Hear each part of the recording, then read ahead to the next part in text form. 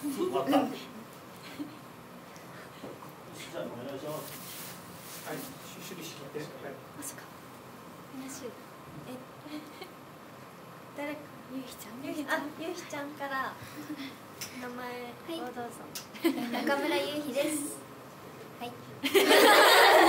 年齢をどうぞ年齢は12歳です。中学1年生です。あ好きなこと好きなこと。好きなこと。好きなことなんだ。好きなこと。好きなこと。好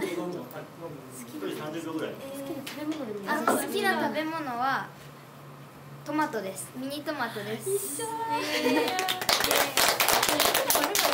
好きななんとかそう好きな好きなまるはい、えー、竹内志乃です、えー、高校1年の。15歳です、えー、好きなことは音楽聴いたり本を読むことが好きです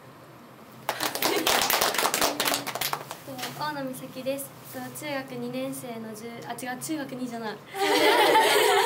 中学3年生の14歳です。と好きな食べ物はハンバーグです。お願いします。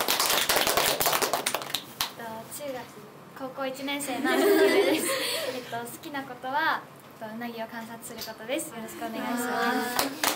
ゆうちゃんさなぎ飼ってるうなぎ飼ってるの？食べたくなる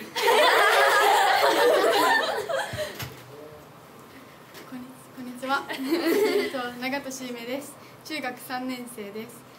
好きなことはえっと12年？12年目ぐらいでやってるダンスがすごい好きで k p o p とか大好きなのでそれを真似して踊ったり歌ったりしてます。はい。小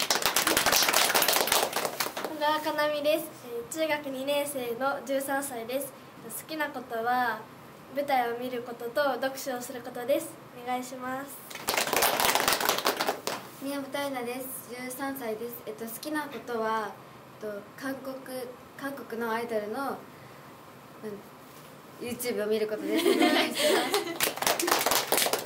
はい、桜木里奈です。中学2年生の13歳です。えっと好きなことは楽しいことが好きです。えっとなんか笑うとすごいハッピーになるし、すごい健康にもいいらしいんで皆さんも笑ってみましょう。お願いしこんにちは、新関葵です。えっと高校2年生の16歳です。えっと好きなえっと動物は赤星インコです。よろしくお願いします。と中村朱里ですどこ見ればいいの？なんかすごい角度になるよね大丈夫大丈夫。中村朱里です中3の14歳です好きな食べ物はえっと石焼き芋が好きです。お願いします。長谷川一蘭です。えっと中学3年生の14歳です。好きな食べ物はもうさっきいいのかな言っちゃって。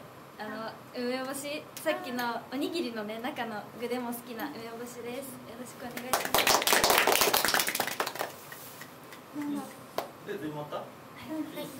じゃあまああの見てるお客様にじゃあ一年間よろしくお願いいたします。最後一言一斉に。なんていう？一年間よろしく。お願いします